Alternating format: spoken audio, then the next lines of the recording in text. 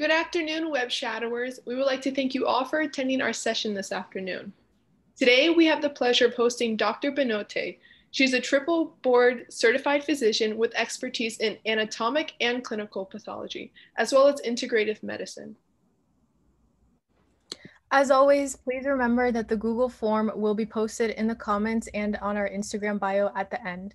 With that being said, Dr. Bhanote, you may start when you're ready.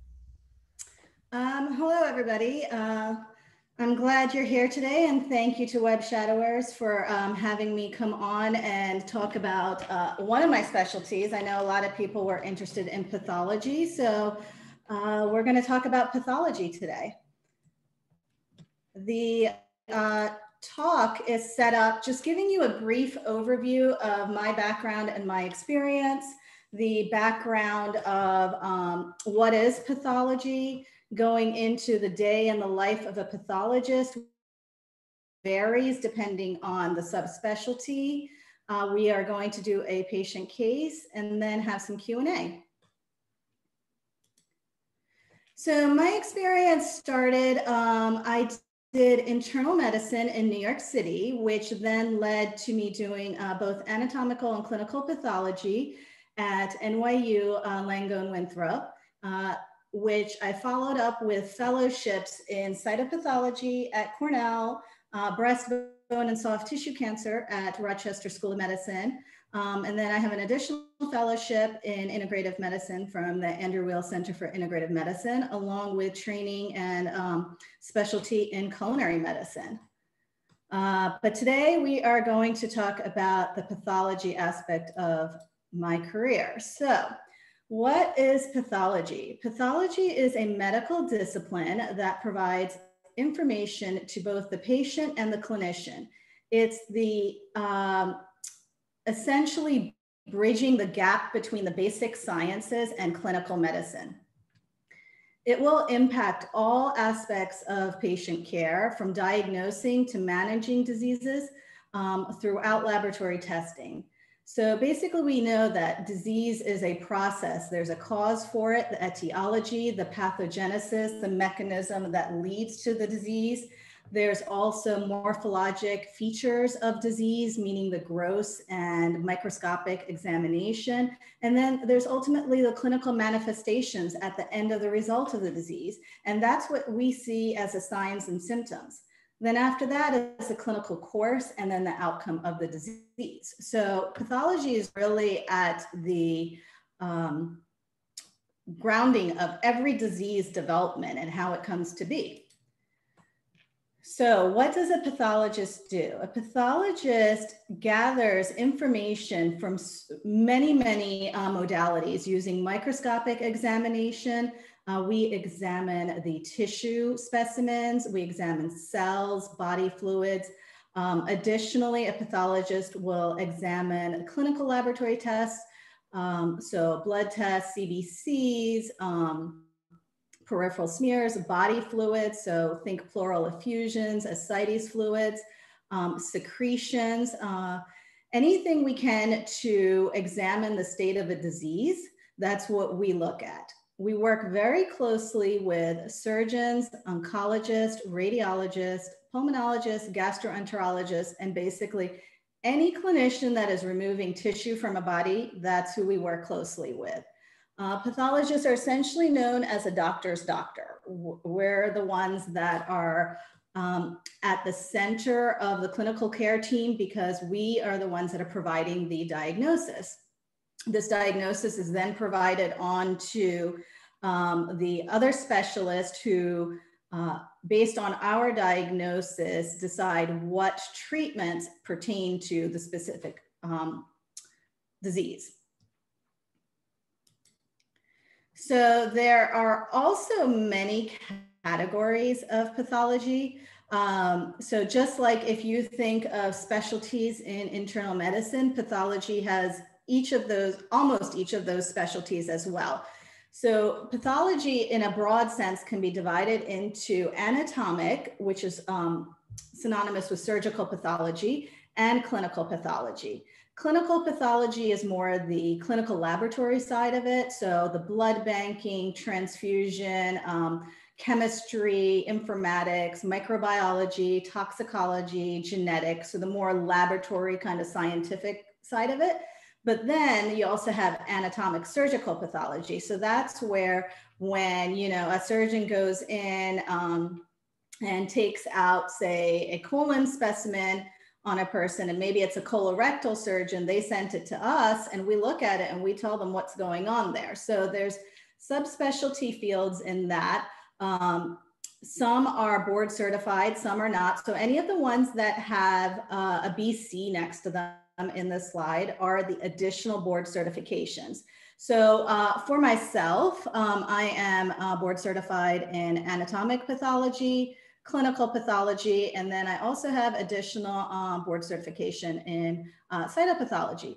But then I have fellowships also in breast pathology, bone, and soft tissue, which the ACGME does not recognize as um, board certified. However, there is an extra year of training that goes into that.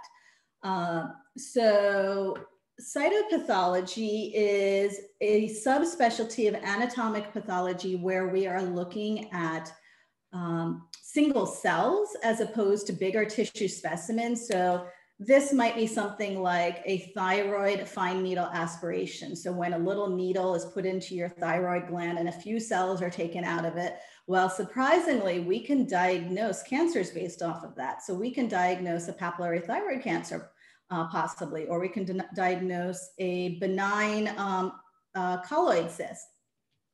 Uh, dermatopathology focuses on uh, the skin pathology, so different um, diseases there. So maybe the basal cell carcinomas, melanomas, and non-neoplastic, meaning non-tumorous, so maybe inflammatory skin lesions.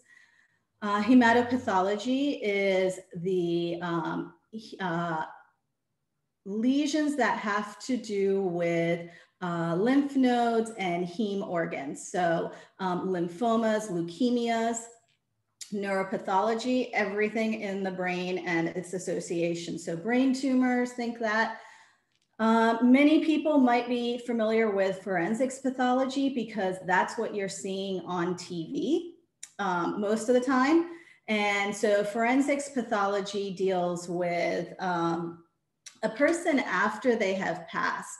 So um, getting to the cause of what might have caused their death, um, whether it was from uh, accident, uh, gunshot wound, um, head trauma, um, anything that uh, we are curious about is um, uh, can be looked at from a forensics pathology um, lens in the sense of why a person um, unexpectedly died. Now, this is a great time for me to interject here. All of these other specialties, aside from subspecialties, aside from forensics, our patients are alive. Um, there is a um, misconception uh, with pathology that uh, we deal with dead people. Well, really, this forensics is the specialty that does that. All of these other specialties, our patients are alive. Uh, we are helping make uh, clinical decisions, manage clinical patients, and working closely with the team of other clinicians to help with these patients and their treatment plans.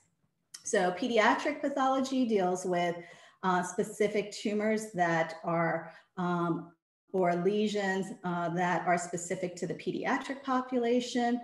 Gastrointestinal is think anything along the GI tract, uh, genitourinary, so kidneys and bladder, uh, gynecologic, um, so think um, ovaries, uterus, breast, obviously breast, a pulmonary, so anything in the thoracic cavity, bone and soft tissue, bone, um, so anything in um, your bones, so tumors in your femur, your humerus, anywhere else, uh, soft tissue essentially can be any anywhere in the body. So um, that, but it's specific to soft tissue um, lesions that appear. Head and neck, so think of um, a thyroid, think of salivary gland. So there's really a, a, lot of categories and subspecialties when it comes to pathology. Um, so where can a pathologist work?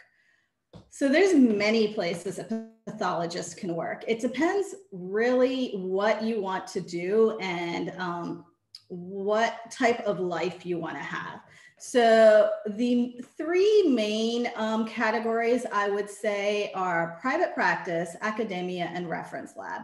So let's start over here. Reference lab. so think Quest, LabCorp, um, any of these labs where um, you might have already had some of your tests or you know a family member has gotten a test at. Um, there's pathologists behind those scenes that are, um, you know, working to make sure that the uh, testing is um, within reference range and valid. And then also anatomic, so both clinical and anatomic pathologists will be in a reference laboratory. Um, as an anatomic pathologist, you can be signing out maybe smaller biopsies at this setting. And in a reference lab, usually the specimens are coming from all over, meaning um, it might not just be from the hospital down the road. It might, might be a big regional lab where you're getting everything from the entire state of, say, California. Um, all of the um, specimens are being filtered into this uh, reference laboratory. Now, academia is associated with a university. So in academia, pathologists generally tend to uh, split their time uh, between signing out cases, teaching the next generation of pathologists, and doing research. Um, they can uh, break that up into however much time based on what contract they want with their university. Um, but there is some variability there. Now, private practice, on the other hand, is um, you might be working for a private practice group where most of your volume of work is based on that specific hospital that you are working at. And um, you know the clinicians very well. They know you. Um, you, you can build a great relationship with your clinicians here because they come to count on you every time they take something out of the, the body of their patient and they um, rely on you for, to give them an accurate diagnosis.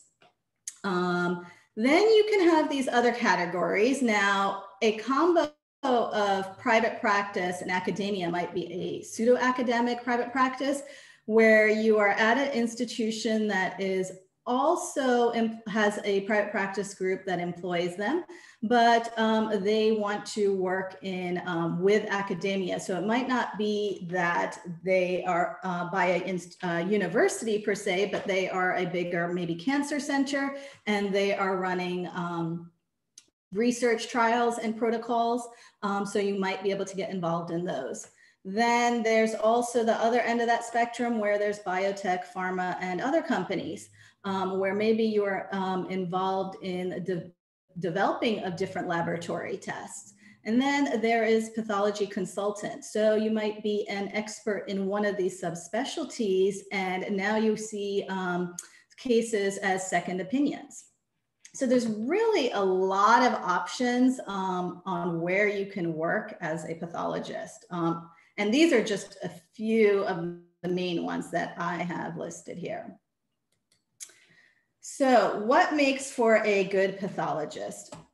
Uh, so, a good pathologist, um, and I put "good" in quotes because this does not mean you you can't become a pathologist, but um, really, since a pathologist is the one who is ultimately putting their name on a report and dictating your diagnosis, which is going to further um, put the patient in a route for specific treatments based on that diagnosis, you want to be pretty good um, at doing this because you don't want to make any medical errors there. So being detailed oriented, having organizational skills, a good visual eye. Um, a lot of the time, if you're an anatomic pathologist, is spent looking through the microscope. Um, having some procedural skills. If you are interested in procedure skills, um, cytopathologist, which is one of my subspecialties, we do procedures. So um, we actually can perform um, fine needle aspirations. That's those aspirations that I was talking about using a very small needle and um, impalpable lesions on the body and aspirate them with this little small, uh, you know, 25 gauge um, or maybe smaller, smaller needle that um, we then take those few cells, put them on a slide, and can make a diagnosis right there. Um, so another um, thing, you need to have good dexterity because you are using your hands quite a bit to um, maneuver the microscope. Uh, communication skills. Um, so this is one of those that I think some people think, well, you know, pathologists just hang out in their office. Why do they, or behind the scenes, they're, they're essentially behind the scenes. Why do they need to have communication skills? Well, as a, a, pathologist, your communication skills are important because it is your, your ability to communicate with that clinician to get your message across of what this diagnosis is. You do not want any confusion in your diagnosis and how you have the report, how the clinician interprets the diagnosis, because that diagnosis is going to possibly lead to a number of medications, a number of chemotherapies, maybe surgery, radiation, whatever it leads to. So communication skills, I should probably actually move up to the top because that is very important. Um, and then having patience, you know, um, the the cases um, can be quite challenging. So uh, you know, uh, being patient with what the work that you're doing, and having problem solving skills. It's basically a puzzle or a black box until we come up with what the diagnosis is. So it's it's actually a, a pretty cool thing. Um, so I'm going to give you an example of one day in the life of a pathologist as we walk through one patient. Um, just to give you an example um, of what happens to a patient. And since this is Breast Cancer Awareness Month, and I'm also a breast cancer specialist, um, I'm going to walk you through a breast cancer case. Uh, so what happens here? A uh, patient comes in on the left here. She comes in for her annual screening mammography. Um, she goes, you know, her her doctor her, referred her in for this. She goes in just thinking, all right, this is what I have to do. Then the radiologist review, reviews her mammogram and sees something there and says, well, you know, there's something suspicious there based on their criteria that they use in radiology to determine that the patient comes back. So this patient came back because of this little um, area that lit up there. Um, she had a ultrasound guided biopsy performed and from that biopsy, there's a whole bunch of stuff that happens here before this is what ends up on my desk. So let me go back to here for a second. So she had a biopsy done. Um, this was something that after good um, ultrasound um, localization uh, was able to be noted. So that's why she had an ultrasound guided biopsy done. Um, sometimes um, the lesions um, cannot be seen on ultrasound. So they might lead to a MRI guided biopsy being done. So um, with assistance for that. Um, and then sometimes it might be instead of a uh, defined area, maybe an air, a bigger area, but it's more calcifications, so kind of speckled and they're concerning calcifications. So um, that might lead to a stereotactic biopsy. So depending on what uh, the radiologist is going for, they can have different types of biopsies. This one was an obvious lesion. Um, the reason I'm sharing this with you is as a pathologist, you still want to be good at looking at imaging. I always go back and look at the imaging for this specimen, for this patient specimen that was sent in to make sure that the findings that they see here are correlating with what I see here. Um, so what happens over here in this black box before we get to this slide? Well, this black box is what's going on behind the scenes of the laboratory. So the specimen comes in from, you know, the radiologist's office. Um, it is accessioned, it is given a case number, um, it is grossed. What we mean by grossed is um, it is evaluated by a pathology assistant um, who um, looks at the specimen, describes it based off of the uh, color of the specimen, gives a size to the specimen, puts it into a little cassette and um, that cassette is then further processed in the laboratory through different chemicals. Those chemicals then um, do something to the tissue where um, with formalin. So um, those chemicals, it's quite a long process, I will just say. So once the that tissue is um, basically formalin fixed, uh, then it gets re-embedded, is given to the histotechnologist to turn into slides. And then the end result is the pathologist gets this slide. Well, what in reality they get is a lot of slides to look at, but for this patient's case, it was just one. Um, so, so based off of that slide, a diagnosis is rendered. Um, and depending on what that diagnosis is, um, decides if the patient is going to proceed for um, surgery or if the patient is going to come back for a follow up visit in whatever indicated amount of time, depending on her risk factors. So, this patient's diagnosis, based off of this lesion, was a cancer. So, she ended up coming in for surgery. So the surgeon went in and decided to do a conservative surgery, which resulted in a lumpectomy specimen. So there's many different types of surgeries that can ha um, happen. Um, a surgeon can consider a breast conserving sur uh, surgery, such as a lumpectomy. Um, uh, it all really depends on what the diagnosis is and the status of the patient and what stage the patient is.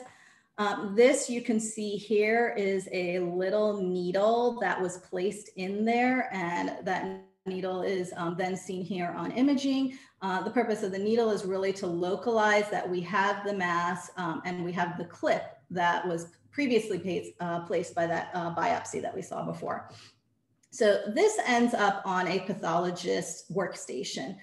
Usually, um, depending on what kind of facility you work in, um, it could end up on the pathologist workstation. It could end up where the pathology assistant gets the specimen. One of the two is going to get the specimen. Um, but usually, sometimes um, the surgeon will say, well, can you take a look at this specimen and tell me, are my margins for this mass that I'm concerned about grossly clear? Because before I close up um, before I close up the um, person uh, for um, with sutures, I want to make sure I, I, got around the tumor. So what does the pathologist do? The pathologist takes the specimen, looks at the x-ray um, once again. So once again, knowing um, having a little bit of, um, well, having some experience in the radiology is also very helpful. Uh, the pathologist then colors it with these inking colors for different margins. Um, so the different margins may be indicated um, depending on which institution that you work at. So anterior, posterior, medial, lateral, superior, inferior. Um, and each of them is um, differently colored. So then we can go back um, and tell the surgeon what margin the uh, lesion is closest to in case they have to re-excise. So um, when we take that lumpectomy specimen, we lay it out and it looks like this. So now, as you can see, it's hard to tell what margins were what once we've gone through and basically sliced it into sections. But based on our colors, we know. So we examined this um, uh, looking at the um, mass that's there. So what is the pathologist gonna do? One, they're gonna locate the clip, which was previously placed by the radiologist. We locate the clip, we examine the mass for the color of the mass. Um, that's one of the factors we use to decide um, if it's normal tissue or abnormal tissue. Uh, we palpate it, meaning we check how firm it is. We check for um, if it's well circumscribed um, or if it's infiltrative. Um, signs of cancer is that it's more infiltrative. Uh, We um, then inform the surgeon of what his closest margins might be. Um, and then possibly the surgeon will say, all right, I agree, let's go back. And later on, they send you um, more margins to make sure everything has come out. So with that being set, said, um, this specimen is thoroughly examined both grossly um, and specific um, sections of this specimen is submitted to turn into this. So um, we generally try and sample the tumor as much as possible, depending on the size and all the margins. So it once again goes through this black uh, box process and ends up as a bunch of slides on your desk. So depending on what kind of specimen, the number of slides can vary. Um, and then from there, what happens is a pathology report is issued. So the pathology report is essentially a living document of the um, patient's diagnosis. It includes their demographics, their clinical history, a gross description, a microscopic description, um, optionally, then the final diagnosis, um, which may include cancer staging if it was cancer, um, and in that cancer staging, we do have protocols that we uh, follow designated by the uh, College of American Pathologists to uh, make everything as uniform as possible when it comes to cancers. Um, there can also be a comment put in the report um, depending on if it was an unusual case or a particularly challenging case. Um, if a frozen section was performed on it, um, an intraoperative consultation can be um, done. Um, I'm going to go back and tell you one more thing here. So at this point, also sometimes what is happening is when it's a breast specimen, uh, there might be lymph nodes that were suspicious on imaging. So I don't have the picture here, but um, sometimes the, um, the, surgeon can send you a lymph node for intraoperative evaluation. So what do we mean by that? That means that while the patient is still in the operation, um, they want to know if this specimen, and in this case, it would be a lymph node, if this is positive for tumor, because that might change the direction of um, what further surgery they do. So if the lymph node is possibly positive, they might go back and remove a few more lymph nodes. They might do a lymph node dissection.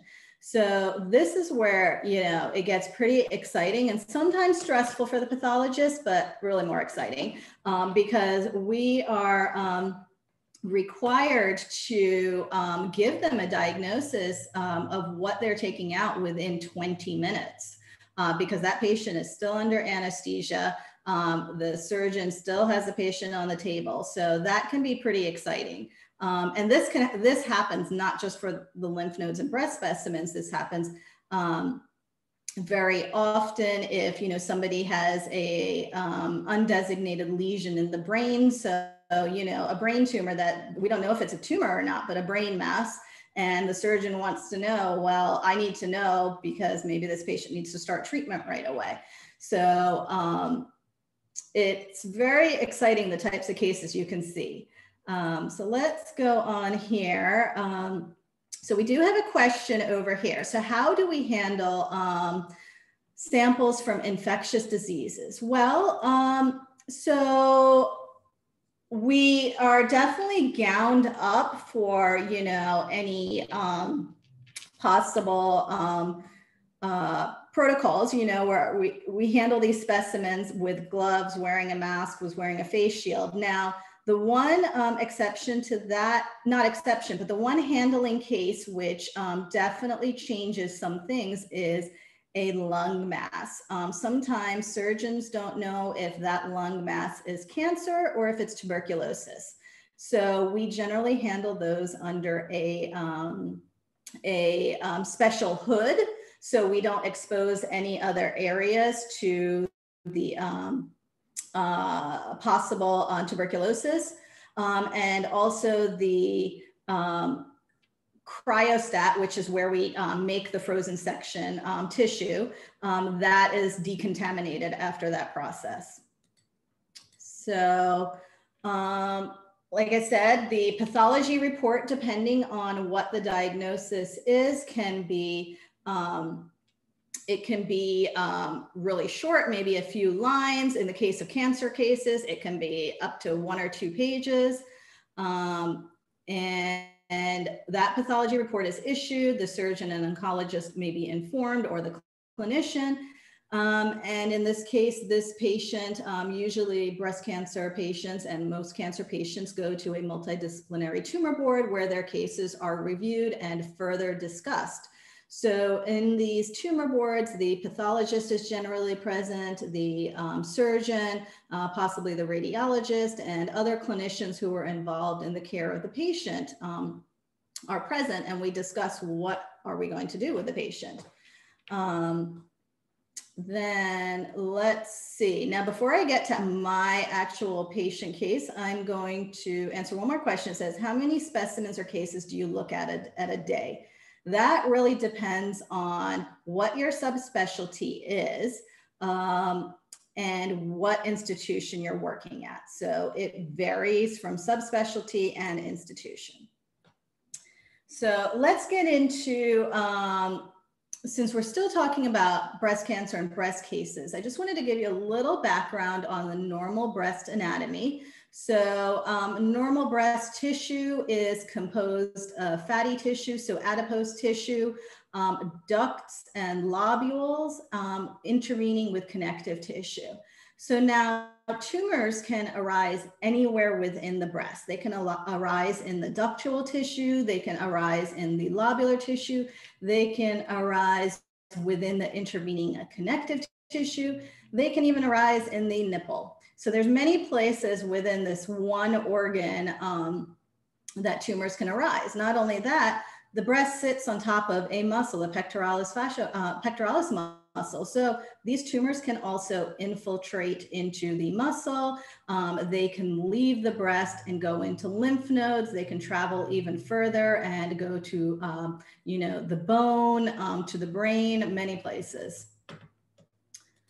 Um, so let's look at our patient case. So here we present a 37 uh, female. She goes to her primary care physician with a palpable breast mass. She says she felt it about two weeks ago while taking a shower. She didn't notice any pain or change in the size of the mass since her last menstruation. She is married without children, and she has no significant medical or surgical history. So when we're thinking about a um, female patient, we can't forget that um, breast examination is important. No, the pathologist does not do the breast examination, but um, every, every clinician should know how to do a proper breast exam. So I am throwing this in here. Um, breast exams should be performed first with the patient sitting and then with the patient supine. Uh, you want to also examine the axilla, the supraclavicular lymph nodes. Um, the breast should be inspected with the patient's um, arms at the side and then above the head and then with their hips flexed to the pectoralis muscle. So um, multiple ways because the breast is, is mobile. So you will see um, different things as um, in these different positions. Uh, you also want to examine the skin for changes such as erythema, rash, and edema, and then the mass should be palpated for both size, tenderness, and consistency. So um, with this, um, so the clinical pearl I want to give you here is that most breast masses are not cancer. So you might be thinking now, all right, you're, you know, maybe you go and examine your breast tomorrow. Don't worry, most breast masses are not cancer. And that's a clinical uh, pearl for a test question. So I'm going to throw in a few of these clinical pearls here that sometimes show up on, um, you know, examinations, whether, you know, um, you are um, starting your medical school, you might see them on medical school exams and USMLEs. Um, so I'm going to throw a few of these in here for you. So with the physical exam on this patient, um, a grape size um, mobile mass was noted in the upper outer quadrant of the patient's left breast. She didn't have any other masses. Now, when we are looking at um, breasts, uh, both male and female, we divide them into quadrants. So here is um, the right breast and the left breast. So in this patient, um, she had a mass in the upper outer quadrant, which is usually the most common quadrant, upper outer quadrant that you find tumors. Um, and when we um, locate it, we also um, say where it is based on the clock. So maybe this is 12 o'clock, three o'clock, six o'clock, uh, nine o'clock. So this patient's mass might be at say three o'clock. Then we also mention how far away it is from the nipple. So um, maybe three o'clock and five centimeters from the nipple. This is uh, first mentioned by the radiologist and it's possibly mentioned by the clinician who did the initial exam. Um, but really the accuracy is important here because we wanna make sure we are taking out the right mass when we go, um, when they go in for surgery. So the, the details in this are very important. And then on your breast report, always put those details. I've seen many breast reports that they will just say left breast comma biopsy. Well, where in the left breast? There's a lot of places that could have been. And um, the more accurate you can be, the more precise the surgeon can be to go back and find that specific lesion, especially if it comes out to be cancer. So um, this patient had no palpable axillary or supraclavicular adenopathy, and um, she had no significant family history of breast or gynecologic cancers. So um, so what are some other questions you might want to ask this patient? Um, she should be asked whether she noted any nipple discharge, if the discharge was clear, milky, or bloody, any other symptoms um, associated with these types of cancers, such as weight loss, malaise, bone pain, also should be noted. Um, what are the most common causes of breast masses or lumps? Well, like I said, not all breast masses or lumps are cancer. So we can have benign um, lesions here. So here is a table from uh, one of my chapters of my previous book, um, which gives you a breakdown of different benign or fibrocystic changes that can happen. Um, so here's your clinical pearl here. The relative risk of developing breast cancer when you have non-proliferative uh, fibrocystic change is zero. But when you start having proliferative type changes, so lesions which we might think of as hyperplastic, um, sclerosing adenosis, maybe a radial scar, increases your risk 1.5 to 2 times. Then if any of these become atypical, then your risk is even further increased to 4 to 5 times uh, risk of developing cancer. So some of the features that may distinguish fibrocystic change from cancer may include um, fibrocystic change tends to be bilateral. Uh, patients can have many nodules or lumps. Uh, uh, they vary with menstruation, so there's cyclical pain, and these um, lumps sometimes can regress during pregnancy. Whereas breast cancer, on the other hand, is most often unilateral with a single mass and shows no changes during menstruation. Uh, that single mass, um, nowadays, actually, we're seeing some patients with one, two, even three breast cancers in one breast. So um, it's more common than you think. Um, so our patient underwent um, an ultrasound. Um, she has this mass over here. It was a non-compressible nodule. It was taller than wide. That is a description that radiologists use. Uh, the to um, help us distinguish whether or not we're dealing with something that's cancer. It measured 24 millimeters. It was solid with focal uh, spiculations and no cyst fluid. So there's specific ultrasound findings that the radiologist might use. We as pathologists also look at the radiology reports.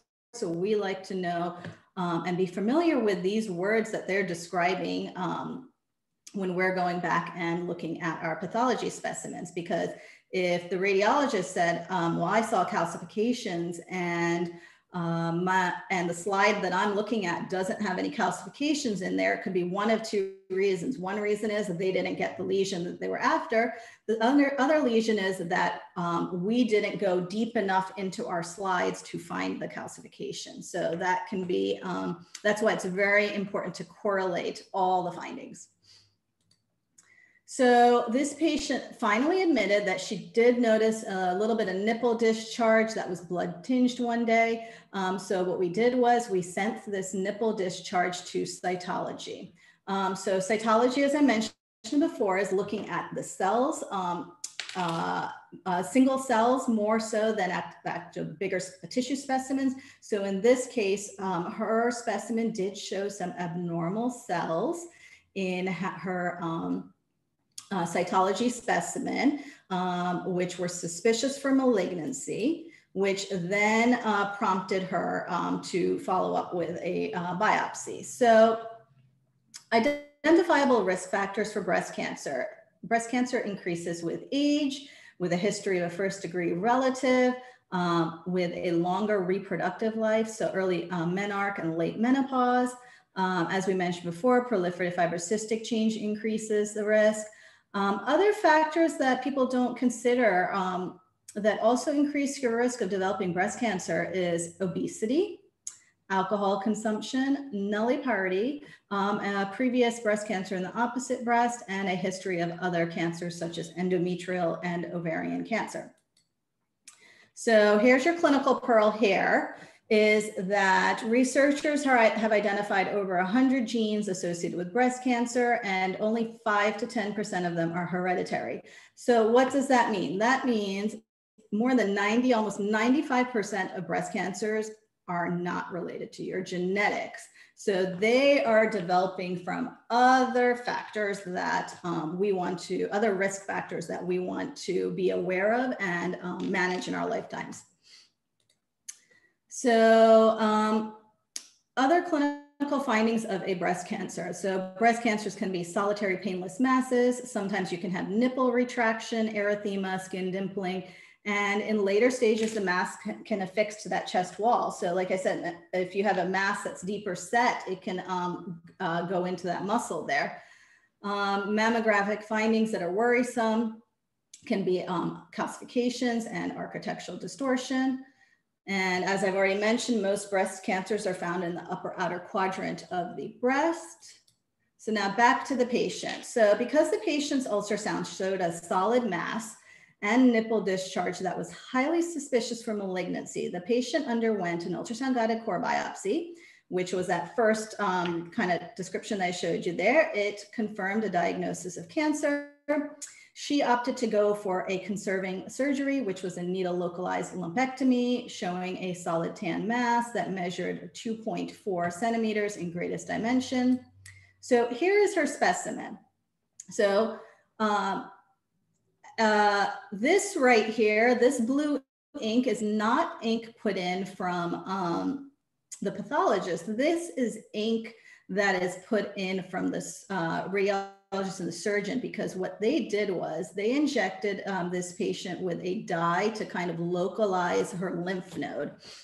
And sometimes that uh, dye uh, spills over in here. But as you can see, there are a few different colors on here, and those are the colors that we use to designate those margins. Uh, this is the mass that we are actually talking about. So this one is actually a pretty, oops, a um, pretty well circumscribed mass for a tumor, um, but it is uh, on the larger side. So um, we examine the mass, we feel it, we give it a size, we check how close it is to each of the margins, and um, we decide uh, what um, part of this tissue we want to sample. So if we see anything abnormal here, we might go sample that. And we turn it into our slides, which then shows us something like this. Um, so the most common neoplasms of the breast, so you have both benign and malignant. Now, let me tell you something about the malignant tumors. There is not one type of breast cancer. Here is a very small list of um, the types of breast cancers. There's almost 30 different types of breast cancers. Um, and depending on that, they have different treatment protocols. So that's where, um, you know, being able to be as descriptive as possible in your pathology reports based on the microscopic findings is important. So the patient can have the treatment that is best indicated for her specific type of tumor. So um, things that can uh, affect the prognosis of breast cancer, and these are the things that we put into the pathology report, is the size of the tumor, uh, lymph node status, if lymph nodes were taken out, the histologic type, that's what I was talking about with um, the different types of tumors, the grade of the tumor. Um, if the tumor is, um, so there's three um, uh, prognostic markers we do that's estrogen, progesterone, and HER2, um, because uh, most of, many of the tumors have some of these uh, receptors and we can target drugs to these. So we do special stains to see if the patient's um, tumor has these markers and put them into the report. And of course we grade it. Uh, the grading is a powerful indicator of prognosis. A grade one tumor is usually well differentiated and has a better prognosis, where a grade three is a poorly differentiated and has a worse prognosis. We use a grading system to do this, and that grading system takes a look at um, what the actual tumor looks like. So, is it making little tubules? Does it most closely resemble normal breast tissue, or does it not look like breast tissue at all anymore? The size of the cells and how mitotically active it is, meaning how rapidly is it growing. We add up all these scores, and that gives us our grading. So back to our patient, our patient had an invasive ductal carcinoma, which was moderately differentiated. So that is in the middle. That's a grade two. She was estrogen receptor positive, progesterone receptor positive, and HER2 negative, which means she is eligible for um, hormone therapy based on this. And she is premenopausal. So she, um, based on her age, she would get a specific um, hormone therapy. So clinical per, uh, pearl here is if this was positive, um, that is associated with a more aggressive behavior in her tumor. And so what are the treatment options? So the treatment options for this patient is surgery, which she had, radiation, chemo, and um, hormone therapy in any one or more combinations. Her stage was a T2, N0, she had no lymph nodes positive and um, uh, no mets. So her particular treatment included surgery as well as chemotherapy and hormone therapy. Uh, so summary of this patient is that she had a palpable uh, breast mass in her left upper uh, quadrant. Um, it was confirmed on ultrasound. She also had nipple discharge, um, which um, cytology showed was suspicious for malignancy and um, a core biopsy confirmed malignancy. She was diagnosed with an invasive ductal carcinoma. She was treated with that lumpectomy and that sentinel lymph node dissection, followed by chemotherapy and hormone therapy. Now, what's missing here?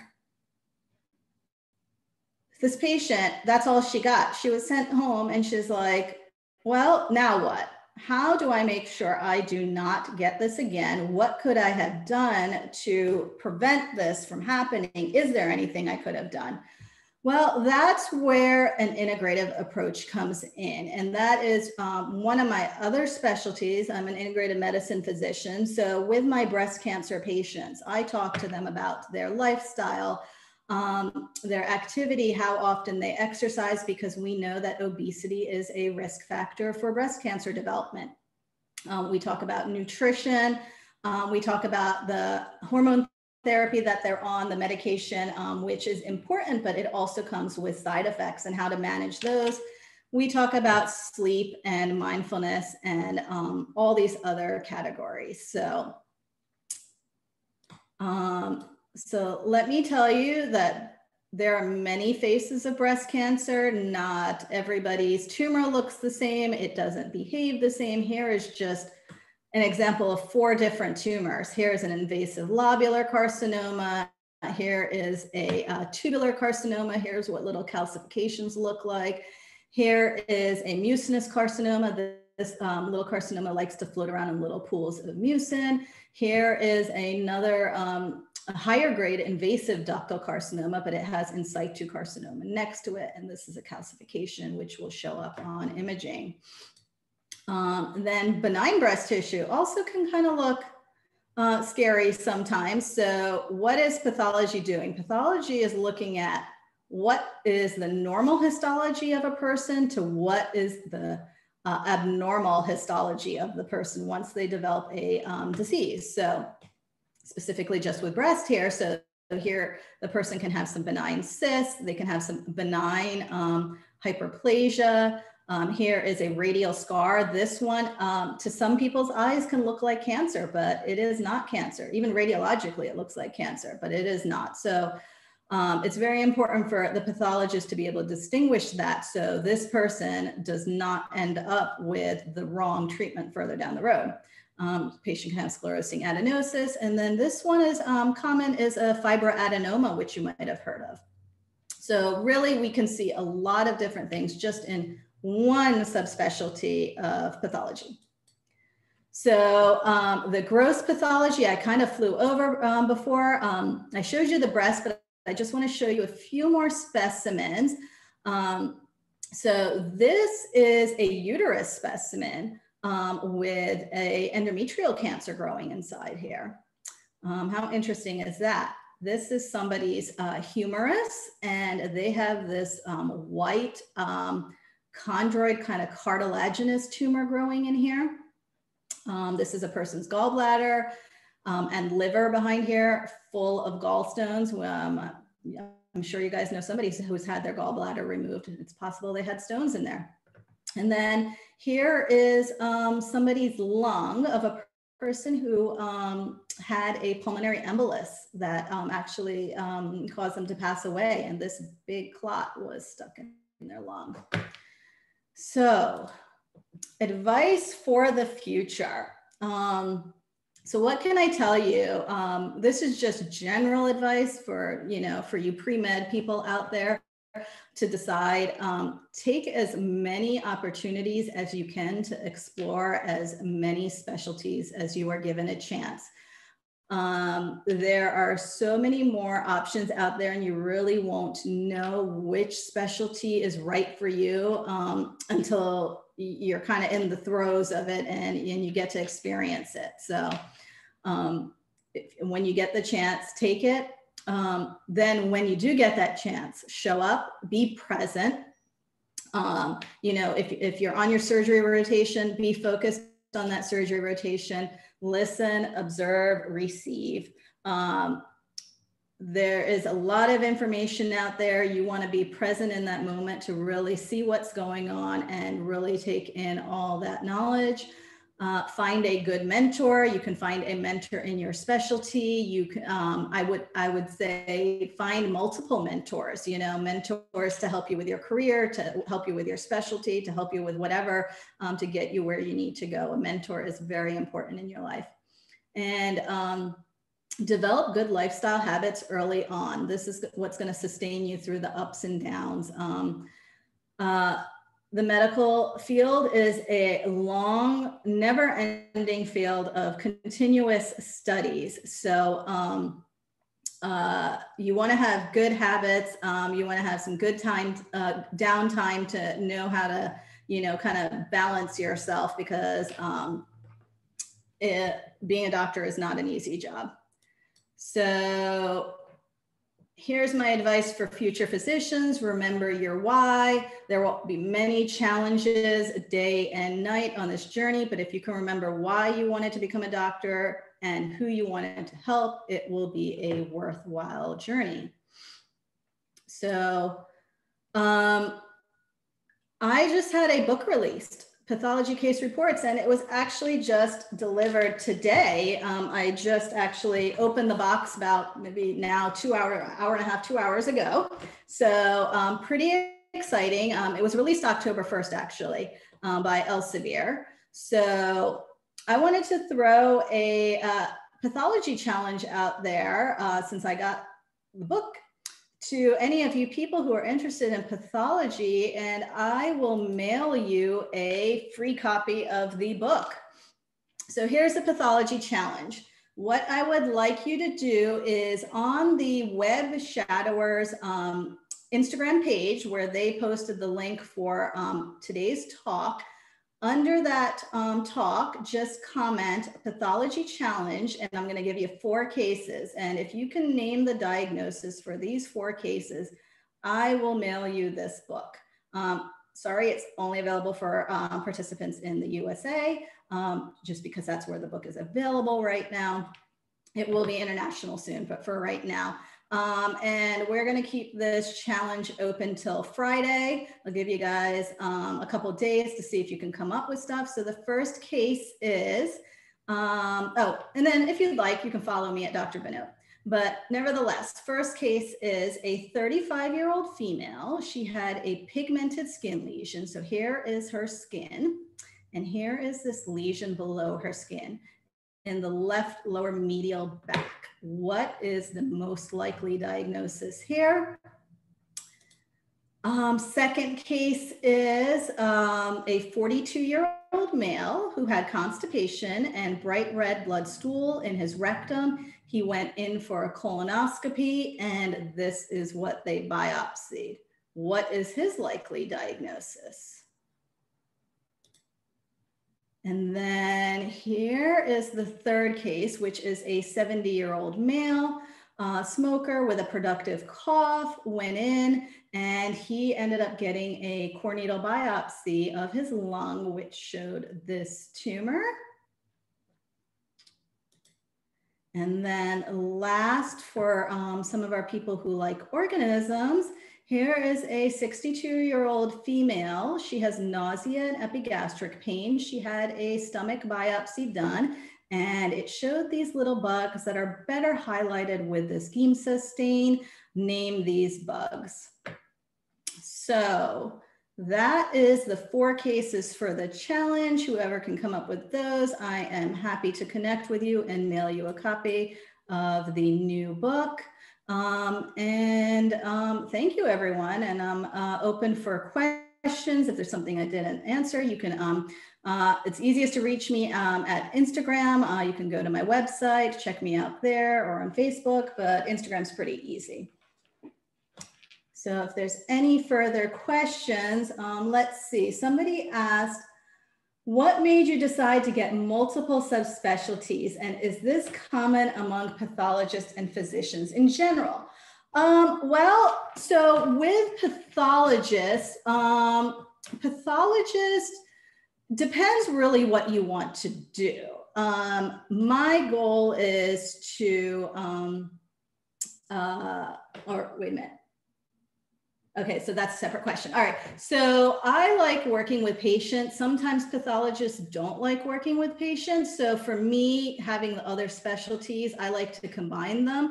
Um, I'm able to look at a patient's report and I am able to um, not only um, see the accuracy of their diagnosis, give them a second opinion, but I'm also able to, based on their uh, diagnosis, help them clinically with that gap in the system, which is the integrative medicine, um, to um, it, help them along their the rest of their journey in um, the the world of cancer. Um, also, um, integrative medicine for me is more of a preventative. So at the end of the day, if you can prevent any of these diseases, you want to do that.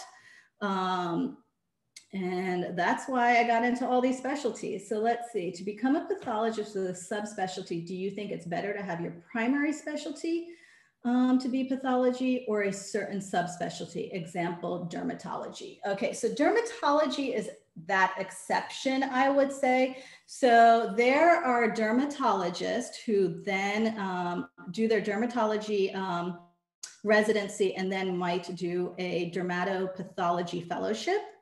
Then there are pathologists who might do a dermatopathology fellowship, and both end up doing the same job, signing out patholo- uh, cases. So that is the one exception to the rule. A general pathologist signs out everything. A subspecialist also can sign out everything, but has real expertise and can hone in on the real challenging cases. Um, so the difficult cases. Um, so most people will do um, anatomic and clinical pathology because that will give you um, a good grounding for getting jobs um, if you have that. Uh, and then they might consider a one fellowship too. I've done three fellowships. Um, let's see, uh, what is the longest amount of time you have spent working with a patient? Um, that depends. So pathology, on one clinical case, I can spend under a minute doing a case, or if it is a very large, complicated breast cancer case, it can take me up to three hours to sign out one case, depending on what was taken out of the body. Um, as for clinically, um, I can spend an hour talking to a patient about their diagnosis and what else they need done, um, up to three hours in integrative medicine um, because they might have a lot going on. So it really depends. Um, another question Do you think that there is an empathy disconnect with pathologists because they spend a lot of time doing sample analysis and less overall work with a patient?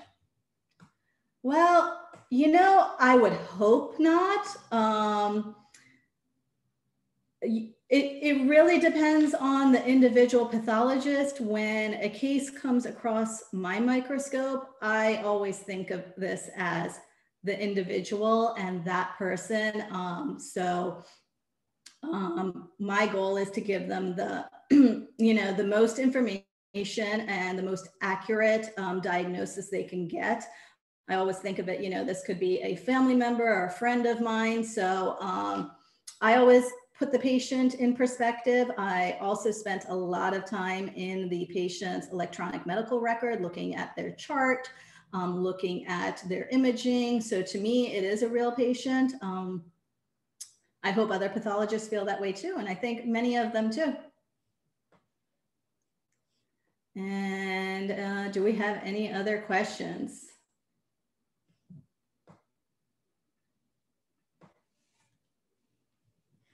I'll give you guys a few minutes if there's any other questions. Um, a typical work week. Uh, well, now that I am many, many, many years out of training and um, been working a long time, I make my own work week. Um, but generally, a pathologist work week is Monday through Friday. If you are working in a hospital setting, um, you can be working eight to five. You might be on a rotation um, where you are um, doing frozen sections one day, maybe you are doing procedures another day, and then you are signing out the next day. So it really depends on your institution and your cycle. Um, if you're in academia, you might be one week on of signing out cases, one week doing research in your lab, one week teaching. Quite um, variable depending on what um, special, uh, like um, practice location you're working in. Um, what is the most difficult part of the job and how do you deal with this difficulty? So, the most difficult part of the job is sometimes a unusual case comes across your desk. So, um, you have to know when you don't know the diagnosis. Um, you, uh, that's that's the thing about pathology. Um, there the human body can really do so many different things.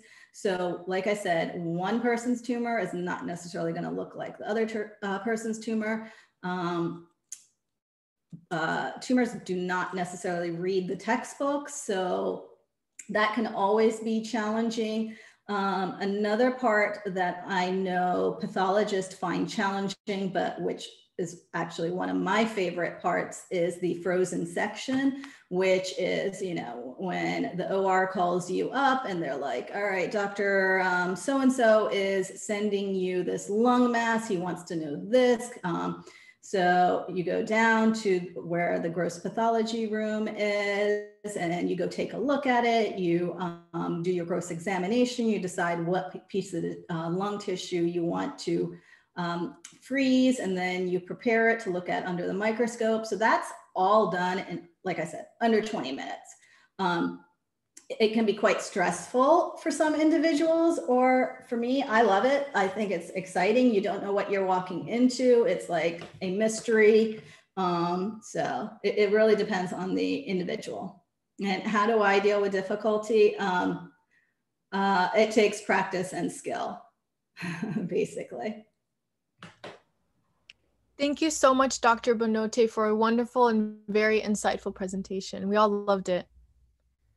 Thank you. And you can reach out to me if you have any questions uh, under the web shadowers or at Dr. Bhanote. Okay. Thank everyone you. Make, Everyone, make sure you participate in this awesome challenge for a chance to win her new book. Comment your diagnosis on our latest Instagram post that features Dr. Bhanote. Also, make sure you check out her socials. Her Instagram is Dr. Bhanote. Additionally, thank you all for attending. The link to the Google form has now been posted in the comments and it's about to be in our Instagram bio. So please remember you need to fill it out within the next 30 minutes for us to receive verification of your attendance. Again, thank you so much for your time, Dr. Bhanote. We look Thank you. Oh, and I'll see you guys at the end of the month for, um, I'm not sure what case yet, but I'll, I'll come up with something. we look forward to having look you. forward to it. Thank you so much for your time. today. Thank you. Bye-bye.